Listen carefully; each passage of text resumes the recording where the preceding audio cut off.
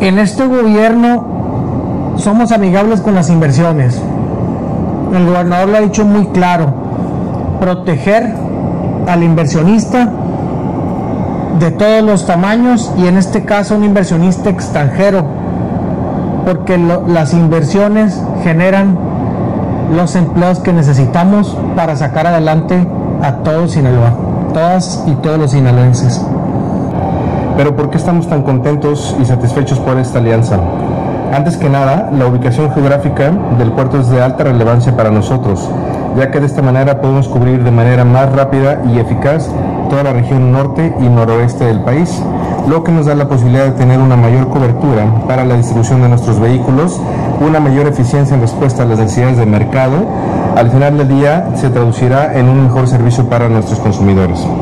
Esto de igual forma nos permitirá de poder, el poder eh, conectarnos por ferrocarril a la zona norte, a la zona centro y a la zona bajío, que como ustedes saben son de los clústeres industriales más importantes de nuestro país.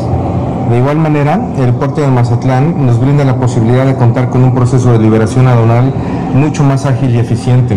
Con este lograremos disminuir el tiempo para la distribución de nuestras unidades a lo largo del país. Hoy es una muestra más de la confianza que tienen en nuestro país empresas de clase mundial.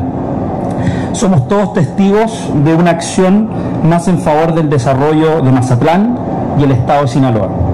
Esto, sin duda, viene a acreditar en primer lugar que México es un país confiable a la inversión nacional y extranjera, que Mazatlán se sigue acreditando ante el mundo como un puerto donde sus colaboradores tienen acreditada capacidad, preparación y habilidades para hacer de esta condición una fuerza de competitividad en nuestro país pueden ustedes estar seguros que cumpliremos con todos y cada una de las cosas que ustedes necesiten.